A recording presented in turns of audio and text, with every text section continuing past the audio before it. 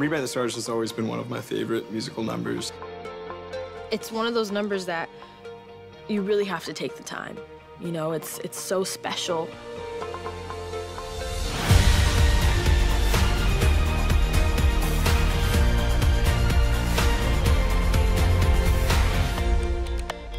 Rewrite the Stars is really about these two star-crossed lovers working through this forbidden love.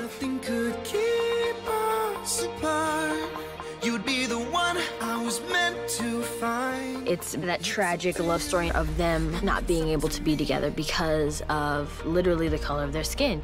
What the song represents is really important, but still very relevant. I mean, our film takes place in 1888, and we still have stuff like this going on. They're exchanging just looks. They don't even touch each other, they just look at each other. The whole thing, I think, is really just a battle. You want to, but you can't. Asking the question, can we be in love? Let's make it happen. We can break the rules. Let's rewrite the stars.